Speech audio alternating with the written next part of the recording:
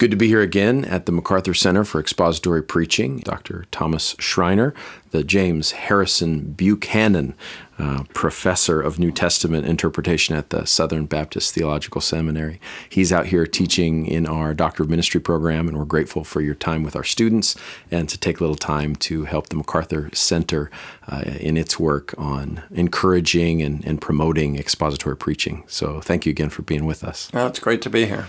Well, what I'd like to do now is is hone in a bit on your expertise as a New Testament scholar and uh, the work you've done in theology as well, and think about how that uh, relates to uh, those who you're often ministering to, which is pastors in their studies. So let's begin by talking about biblical theology. Uh, some of our audience, uh, that may be a, a, popular buzzword for them. Uh, some may be newer to biblical theology, maybe more familiar with the concept of systematic theology. Talk about how biblical theology, let's do what biblical theology is in your understanding and how it's a benefit to an expositor. Yeah, I, I think the best way in a short compass to talk about biblical theology is to talk about the story of the Bible. There, there's a story, there's a narrative, there's a plot. And, and biblical theology, in, in one sense, is, is not difficult. What's that story? We're, we're trying to see what is the unfolding story as, as we read the Bible. What, why is that helpful? It's, it's helpful because wherever you're preaching, where are we in the story? Right? We're not, just to give an example, we're not on Leviticus.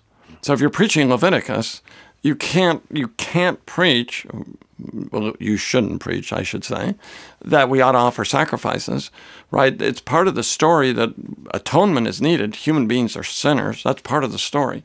But we have to look at the whole story and the sacrifices for sin come obviously in the sacrifice of christ. So biblical theology helps.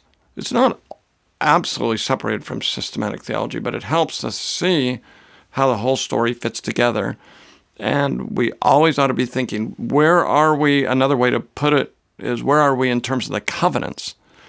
Are we are we in in the storyline? Are you in the old covenant with Moses, the Davidic covenant with David, or are we in the new covenant with Christ? That is where you're reading in the Bible. Obviously, as believers, we live in the new covenant, but we always have to take into account where we are in the story when we're preaching, and that is absolutely vital. It sounds simple, but in a lot of people don't do it. sure, in some way it's context. Yes. But a larger context. Exactly. And you're asking the preacher to be mindful of not only where this is in God's unfolding story, but where his audience is as well. Right, right. So, you know, I mean, if I could just give an example. Jesus talks about in Matthew 5 if your brother or sister is offended with you, uh, reconcile with them before you bring your gift to the altar. But Jesus was speaking in a particular context. We don't have altars today. Jesus was speaking in a time in which there was a temple. So that's that's pretty easy to understand.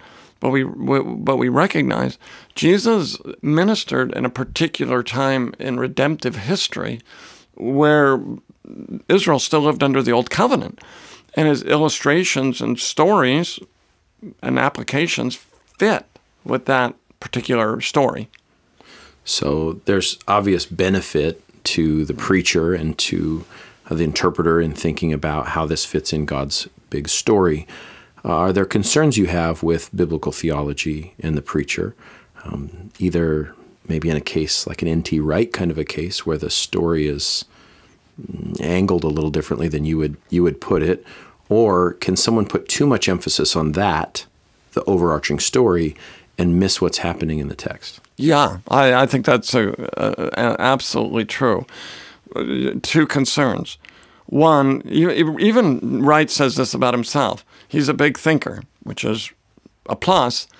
But the danger is that that overarching story, you may impose it right. upon the text. Right. And, and, I, and I think the second concern is similar the the story may so dominate one's thinking that the particulars of the text get squelched as well. So that you know some people who preach they'll say redemptive historically they actually don't believe in applying the text. Uh, they they just think it's enough to tell the story of what God has done in Christ. And at least I don't think that's that's a good way to preach. Uh, I, I think we we have to tell the story, but uh, in accord with what the text is saying and apply it. Yeah. As part of that, the interpretation that comes along with biblical theology, there's a lot of different angles in that story, a lot of different emphases that you can make, where a text will keep you uh, in line with what it is saying yeah. rather than imposing that in. Exactly. Yeah, the text the text is finally our authority and text I, I like to say texts are stubborn things. Mm. You know, they they they sit there in all their beauty, and they they remind us, don't ignore me. And uh, here's what I'm saying, and and and we we all fall short of that sometimes. And so when we prioritize the text, uh, that can be a safeguard in employing biblical theology and preaching. Yes, yes. You, we really need both. Yeah. Because you, you could look very carefully at a text in the Old Testament, but if you're not thinking of redemptive history, if you're not thinking of biblical theology, you could apply that in really terrible ways. Good. Let's think about some of these stubborn texts, uh, specifically some that you have worked on for uh, so much of your career, and we're grateful for that work. Uh, let's start with the book of Romans. Uh, how about some help for a preacher who's considering tackling Romans? What would your concerns be? Uh, that he would have sorted before he dives in. Uh, what do you think about when you think about advice for a man about to start uh, an exposition of the gospel of God? Mm, mm. Well, it helps, of course. It, it, it helps already to have some kind of theology going on in your in your heart and mind. You're you're, you're already developed to some extent theologically. I think that's true of every book. Sure. You're not you're not coming to any book of the New Testament or the Old Testament without context. But I, I would say one of the dangers of Romans is for people to think this is this is the whole of Paul's theology. I, I, think that's clearly not true. We have we have to remember that Romans is probably the most complete exposition of Paul's theology, but don't don't think it's the whole. It's it's absolutely fundamental, but it's not the whole and then recognize, do recognize that the issues that come up in Romans have to do especially with Jews and Gentiles. So it's it's the law and and and sin. Uh, you know, the law plays such a huge role in justification. The the the role of Israel, the role of unclean foods. So if we think more cosmically about Romans, there were there were Jewish and Gentile divisions, I think, in Rome. So I think it's helpful to think Paul wrote this for a practical pastoral reason to explain his theology, not all of it, but a lot of it, to to unify Jews and Gentiles in Rome. He wants the church to be harmonized. So when we think of Romans, we ought to think this book is practical. This book was meant to bring unity to believers. And thirdly, I think he wanted the Roman churches to support his mission to Spain, but they wouldn't support his mission to Spain if they weren't with him theologically. So, the, you know, I, I, I think it's helpful to think Romans is pastoral, Romans is missional, Romans is theological, all three. Very helpful. Let's do the same thing with 1 Corinthians, maybe the book you spent the most time on, it sounds like, in your teaching career. And I think you have, from my understanding, the entire New Testament memorized. But you apparently have a, a good grasp of First Corinthians through all these years. Do the same thing with First Corinthians. Help a, a guy who's uh, starting out. There's things that he needs to have sorted uh, as he approaches the text. Uh, what, what are you concerned about with First Corinthians? Yeah, I, I think it's helpful to think of First Corinthians Paul's the pa- Paul's a pastor, pastor, missionary, theologian, and it's it's a great book. It's a kind of a case study book almost. Here's all these problems in the churches: divisions, incest, sexual sin, uh, food offered idols, spiritual gifts. So I think it's helpful for us to think: What's Paul the pastor doing? How does he how does he tackle those problems? What's his what's his theology? What's his worldview? And then that can inform us. What do, what do I do when there's divisions? How do I handle church discipline, sexual sin? And uh, there's a depth and profundity which hopefully feeds into us so that we, when we face pastoral problems, that we don't just say to people, stop it. Don't do that. Don't be divided. Don't commit incest. Of course, that's true. But that's not that's not helpful, right? It's like counseling a person. They come into you for counseling. If they're struggling with sin, you we can say stop it, and at some point we do need to say that. But it's it's richer and deeper than that. There's a theological foundation. So we want to see that theological foundation that Paul builds to get to the practical application. That's what that's what we do every week when we preach. So in a way, we see Paul as the preacher in this book. He he lays out his theology and then he applies it. So what a great model for us. Very helpful.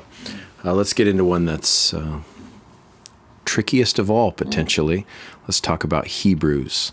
I'm grateful for your commentary on Hebrews. My copy has been almost completely chewed up by me uh, over the years uh, because it's not an easy book to interpret. Um, talk about how to approach preaching the book of Hebrews. What should uh, a man have in his mind as he approaches it? Big picture, and then some some help that you'd have for him. Yeah, yeah. Hebrews is tough. So one of the things I just taught Hebrews last semester, and I said to the students, one of the things that makes Hebrews tough is the readers are tempted to go back to the sacrificial system. How many of you have ever faced a situation where someone was tempted to do that? Never. Yeah. It's impossible. There's not even a sacrificial system out there. So it, it, it, from the outset, it almost seems disconnected from our real lives. So I think it's helpful to think of Hebrews this way. First, chapter 13, verse 21, 22, it's a sermon. You know, we tend to think of, oh, Hebrews, it's just deep theology, and it is, but it's a sermon. He's, he's preaching to these people and what's the main point of the sermon? I would argue the main point of the sermon comes in the warning passages. Don't fall away. Here's another way to think of Hebrews. So I, mean, I want people to see the big picture. Five warning passages. So 2 1 through 4, 3 7 through 4 13, 5 11 through 6 12, 10 26 through 31. I mean, some people would divide that differently. 12 25 through 29 five times he circles back to the warnings. That's what he's about. So he does theology and then he hits them with the warning, right? Yeah. Theology and he hits them with the warning. Boom, boom, boom, boom. So I, I, like to think of the warnings are like a kaleidoscope. You know, you shake it, but it's it's the same message. It's just different angles. So when we read those warning passages, we ought not to play them off against each other. He's doing the same thing every time. Like this is a sermon with one main point: don't fall away. Why do I say that? Because people say, oh, Hebrews is so hard, it's so complex. Yes, there are hard things in it, but let's remember the main message is clear. Then I want to say about the theology. Actually, the theology is clear too, and he actually does the same thing. What is the theology of the book? Jesus is better. Notice that word better in the book. Jesus is better than the angels, chapters 1 and 2, who mediated the, the Mosaic law chapters 3 and 4, Jesus is better than uh, Moses and Joshua. Chapters 5 through 10, Jesus is the better priest. He's, he's better than the Aaronic priest. He's the better Melchizedekian priest. So those are, those are big, big categories, right? Jesus is better than angels. Jesus is better than Moses and Joshua. Jesus is better than the Levitical Aaronic priesthood. Because of that, don't fall away. Don't go back two other things I want to say. Just when we get to chapters 7 and 10, that's really heavy theology. So, how can we think of it big picture simply? And I would say, chapter 7, he's the better priest. Chapter 8, better covenant. Chapters 9 and 10, better sacrifice. So, again, I want, I want people to think what's, what's going on in this book as a whole? Better priest, better covenant, better sacrifice. Therefore, don't fall away. A couple more things I want to say. What is chapter 11 doing in that book? The Hall of Faith. The Hall of Faith. That's another way of saying don't fall away. So it all integrates together. There's a simplicity in the book. What does it mean not to fall away? It means you trust God. That's what it means. You put your faith in Him. So he's not really doing something different in that chapter. So think of him as a preacher. He's, in a way, he's maybe the clearest preacher in the New Testament. I mean, all of God's word is clear, so I don't want to press that too far. But what you're saying is that Hebrews, if it is the earliest extant Christian sermon that we have, it teaches us something about preaching. It does. It's remarkable. It's deeply theological, but in, in one way, it's so clear. It's just we're distant. We don't think in terms of tabernacle, temple, sacrifice. One other practical application, you know, we're not tempted to go back to you know, sacrifices. But I think the readers, Barnabas Lindars says this in his book in Hebrews, the reader, why did they want to go back to these sacrifices? I think they had a problem with guilt.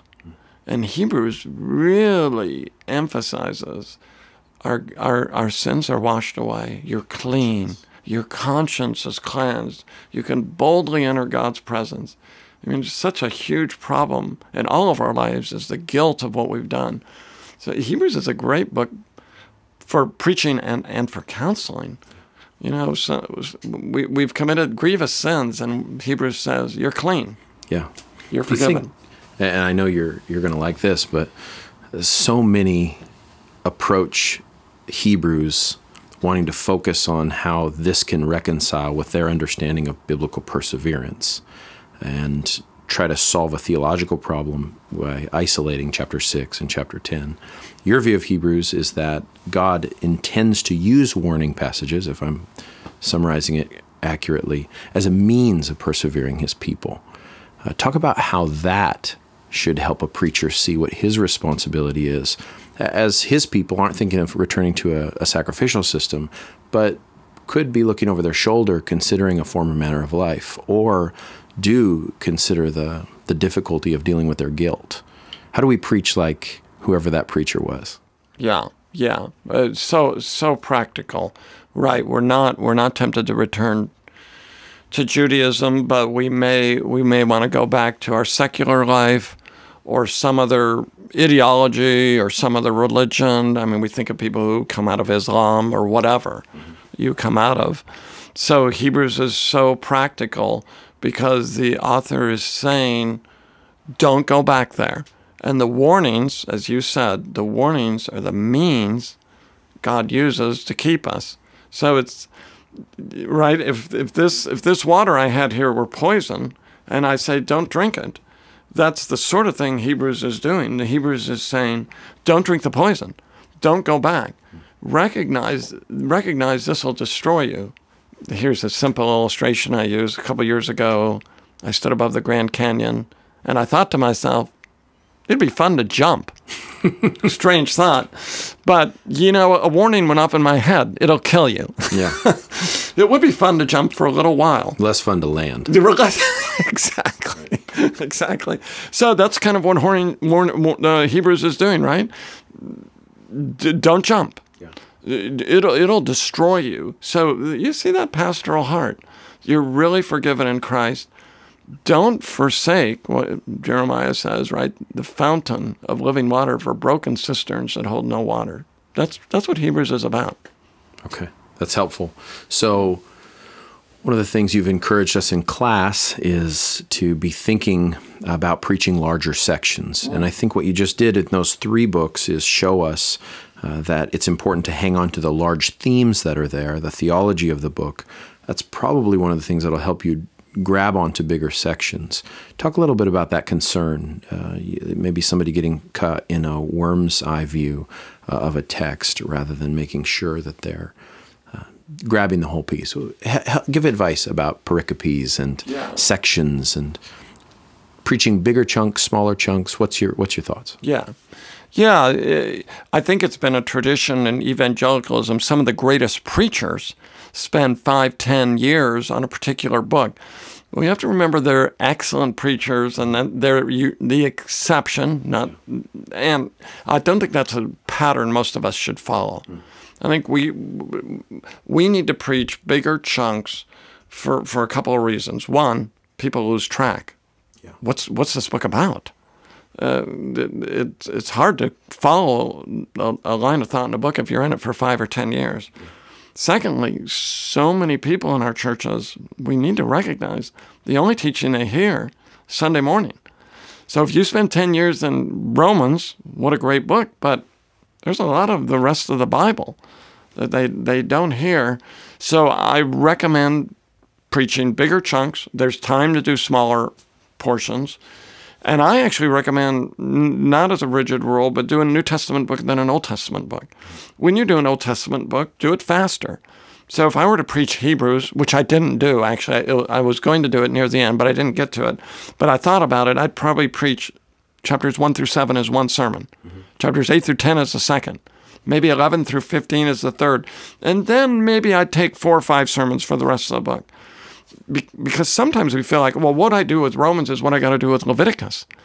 But that's I don't think that's true. And I think the thought of spending 38 weeks in Leviticus scares us off. Yeah. We think, well, my, that's not going to work well. Well, we, we ought to be more creative and I th- think faithful to say, no, I don't have to spend the same amount of time in Leviticus that I do in Romans. Yeah. The, the books are different. And, and that would free us up to say, yeah, we can, we can do numbers and uh, we can do Isaiah. Isaiah is a deep, rich book, but you could be in Isaiah for 30 years. Sure. You don't want to do that. Right. Yeah, no, I think it's helpful. We tell the guys in seminary, uh, you know, Dr. MacArthur has, uh, he's preached five sermons on the word Paul before, so, or maybe eight. Uh, and so I just like to helpfully remind them, you're no MacArthur. Yeah. So I, I, think that's what, what we're saying. There's, there's a place for both. Uh, don't get trapped into uh, a tiny kind of exposition stuck here uh, that may not be what your giftedness is. And don't miss the larger forest. I think so. I mean, John Piper's done this with Romans, Martyn Lloyd-Jones, but they are not the model for all of us in everything they did. It's helpful. As great as they are. Absolutely. Were. Let's talk about a little bit more about preaching. Uh, when you think about your the worst sermons you've ever heard, uh, your pet peeves about preaching, uh, what are you most concerned about? The top things that come to your mind when you think the worst sermons I've ever heard. Yeah, my top concern is obviously the person didn't study the text. Yeah. We, we all have different gifts in terms of presentation. And I, I understand that. We're all at different places there in terms of giftedness. But if a person comes in the text to the to the text and hasn't studied it and they haven't prepared well, that that's annoying, and I honestly I think it's dishonoring to God, hmm. unless they have a great reason, and perhaps sometimes there is a great reason, some crisis in their family or something, but typically there's not a good reason for for not knowing what the text means. So that that is clearly the most annoying thing. Secondly, the, the, the second biggest problem is just explaining the text without applying it. Hmm. Just doing a commentary. Data dump. Yeah. Yeah. I mean, I, you know, I love the Bible, but I do go hear sermons where I already know what's there, and I hear sermons and I think, I need the Bible applied to my life, just like everybody else. And I think, well, I already knew everything that was said there. I need to be reminded of that, but what does it mean to me? Yeah. Now, we, people have various gifts in terms of application, but at least try to apply it. Hmm. And sometimes people don't apply it at all. They think it's sufficient simply to explain what the text says. I don't think that's a good model of preaching. Application is necessary preaching. It is necessary. Exhortation. It's, it's, the hardest part. It's the hardest part for me. Yeah. And um, I, I recognize it's a weakness I have, and I, I struggle. But at least I, at least I try to apply it. So those are your, your top concerns. The worst sermons you've ever heard are uh, data dumps that have no application or they're not honoring the text. Mm. What about the best sermons you hear? Uh, what's what do you love in uh, what do you love about preaching? Uh, what sets your heart on fire? What what's your great encouragement when you think about preaching? What what, what makes a sermon great? Yeah, I, it, it's almost it's really the reverse. One the the you know show me wondrous things from your law the psalmist says and you see it the preacher the preacher, different personalities, quiet personalities, extroverts, you see when they preach, they're excited about the text and they've learned from the text. It's clear, it comes out, and uh, and you learn uh, even things you've known before. It strikes you in a new and fresh way, and they apply it in powerful ways. So I'm convicted, or I'm encouraged, or challenged. And and you you sense God speaking, the Holy Spirit speaking, not just to me, but everybody in this room there's a sense of what's going on, and that's a great experience uh, when you're preaching and uh, when you're when you're listening. I, you know, I would say as a preacher, just you know, there are times I've gone into the pulpit and thought this sermon's going to be amazing. I feel like I'm depending on God. This is going to be amazing, and I step out and think, I, that didn't go well. I don't know what happened. I thought it was going to be so great, but and then and then I've had the opposite opposite experience. I go in the pulpit, maybe I pray harder, and I say, "This is going to be awful. This was not good." And suddenly the Lord shows up. So there's that sovereignty of God in these, in when we preach, isn't there? It, where there are times hmm. where He takes over, and it's it's it's such a good reminder. Our our work is pretty feeble in one way. I, I always feel. I mean, how what how can I do justice to this text? Especially, you know, you do Psalm 23. I'm like, what can I say about Psalm 23? it's been it's such a great text. Who is adequate for these things? Yeah. And the power is there. It's in the Spirit of God, moving through the Word of God to the people of God, and yeah. that's where we we see that effect. Yeah, and that's that's so helpful because I think I think as preachers we begin to think somehow I can do this. Sure. And I think God God reminds us, no, the power's not in ourselves. The power's in His Word. Yeah, we want to communicate as best we can. We want to be clear and precise, but we ultimately know that the work and the results are up to the working of His Spirit. Yeah. Amen. Dr. Schreiner, thank you so much for your time, uh, for your ministry. It's been a benefit to, to me personally and to so many of us. Thanks for being with us at the MacArthur Center and at the Master's Seminary. Uh, we're really grateful uh, for your, your ministry to us.